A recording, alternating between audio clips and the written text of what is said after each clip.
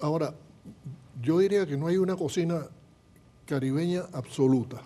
Si no hay partes del Caribe que tienen más eh, parecido entre ellos y otras partes del Caribe, porque como los, los indígenas eran muy pobres y, tenían muy, y eran muy primitivos en su cocina.